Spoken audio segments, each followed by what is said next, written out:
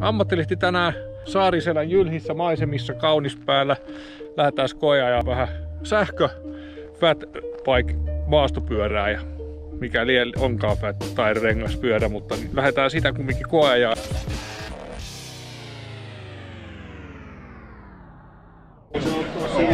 Lähdetään ajaa näillä sähköpyörillä täällä Lapissa. Käydään katsoa vähän. Kokeillaan. Tätä ei ole tullut ennen testattua. Niin mihin, mihin tässä joudutaan ja onko tää hyvä kuntoilumuoto? Jotkut väittää, että ei näistä mihinkään, mutta sehän selvii seuraavassa. No niin, nyt on haettu sopivat turvarusteet ja tsyykä tähän näin ja täällä on kaikilla kollegoilla vähän lähdön tunnelma. Niin, täällä oli tehoasento. Eko tää löysä, sitten on touria ja EMTPstä turvoasentoja. Nää sitten tehostaa sen mukaan. Ja pykälät löytyy tuolta.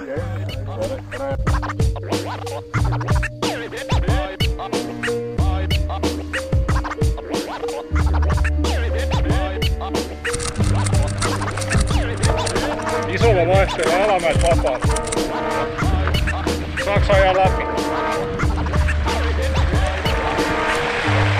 Vähän kengät tässä saattaa kastua. Tää nyt on vähän törkeä hauskaa taas tääkin homma. Tää mennään tämmösiä polkuja, niin tota... Saa jarruu painaa ylämäessä. On kyllä tää aika koukuttava laji, ei pääse mihinkään. No niin, tuolla on nattaset ja tietä riittää, luntakin on. Mutta lähdetään kyllä ajaa vähän alamäkeen. Tää on kyllä hyvä homma.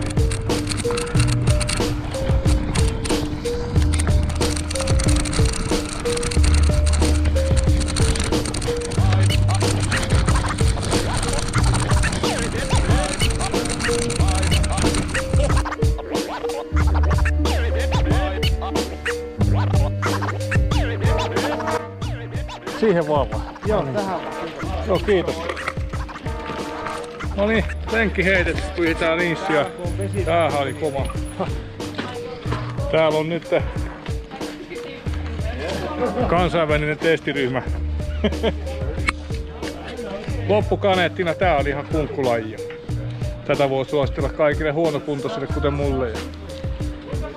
Tulkaa tänne Lappiin vaan vuokraamaan pyörää ja ottaa opastettuja hommia. Tässä on tää firma löytyy tästä näin. Tän näköinen konserni. Mutta tää on niinku tässä ja hyvä homma. Tää testi päättyy täältä sitä. Kun